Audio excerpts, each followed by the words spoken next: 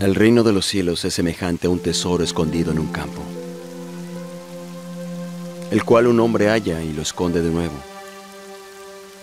Y lleno de gozo por ello, va y vende todo lo que tiene y compra aquel campo. También el reino de los cielos es semejante al mercader que busca buenas perlas y que habiendo hallado una perla de gran precio,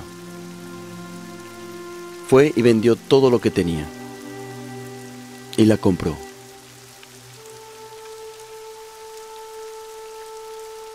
Y el reino de los cielos es semejante a una red, que echada al mar recoge toda clase de peces, la cual una vez llena la sacan a la orilla, y sentados recogen lo bueno en cestas y lo malo echan fuera.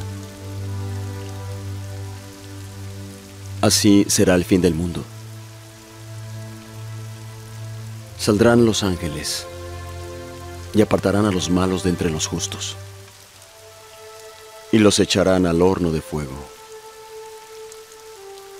Allí será el llanto y el crujir de dientes.